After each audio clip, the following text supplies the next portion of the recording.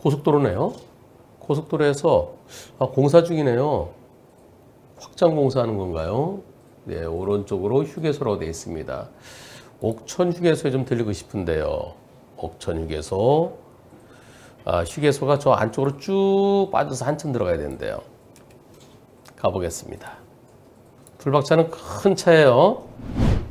불박차는 25톤 트레일러입니다. 트레일러에 진도 싣고 전체 무게 한 32톤. 오, 아니네. 오, 아이고 어떻게 된 건가요? 다시 쭉 오른쪽으로 예, 휴게소 쪽으로 가는 거예요. 휴게소는 30으로 들어가라고 돼 있어요.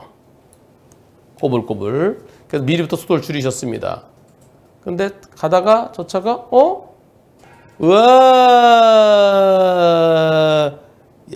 야, 저 아기가 타고 있는데 큰일 날 뻔했습니다. 음, 이분께서요. 아, 피하기 매우 어려운 상황인데 어떻게 피할 수 있었나요? 어떻게 멈출 수 있었나요? 앞차의 속도가 떨어지기 전에 아, 앞차의 속도가 떨어지기에 미리 속도를 줄이면서 안전거리 확보하셔서 그랬었나요? 그랬더니 저는 부산에서 경기를 부산항에서 매일 오갑니다. 근데 아, 시간 날 때마다 변호사님 채널 애청하고 있습니다. 이제 화물 상하차 할 때, 즉 운전 안 하실 때요. 고속도로 매일 다니다 보면 나들목, 분기점, 휴게소동에 거기 진출입할 때 정말 상상도 못한 일들이 가끔 보이더군요. 그래서 미리미리 조심하는 습관을 가지려고 노력해 왔습니다. 예. 이때 아, 속도를 상당히 줄이신 것 같은 어느 정도까지 줄이셨나요?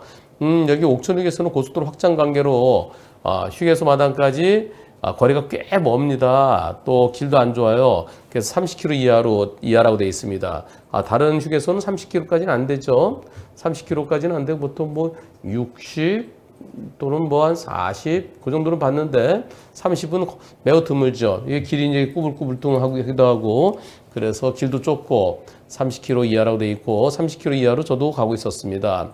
앞에 가던 차가 원래는 휴게소에 들리려고 했었는데 어 근데 여기, 이상하다 잘못 들어온 거 아닙니까 싶어서 나간 것 같네요. 저는 미리 휴게소 들어가기 전에 예 속도를 줄이고 있었고 가끔 헷갈리는 차들도 있기 때문에 안전거리를 지키려고 미리부터 감속했습니다. 그래서 사고를 피할 수 있었습니다. 저 차에 애기도 타고 있었는데 제가 만약에 속도를 냈더라면 진짜 큰일 날 뻔했네요 하시면서요. 아이고 이분께 제가 뭘 좀 보내드려야 될 텐데요. 메탈 쉐이크 텀블러 보내드리겠습니다. 제가 쓰는 이 텀블러 보내드리겠습니다. 아주 작은 거 말고 큰 걸 보내드려야 되겠다.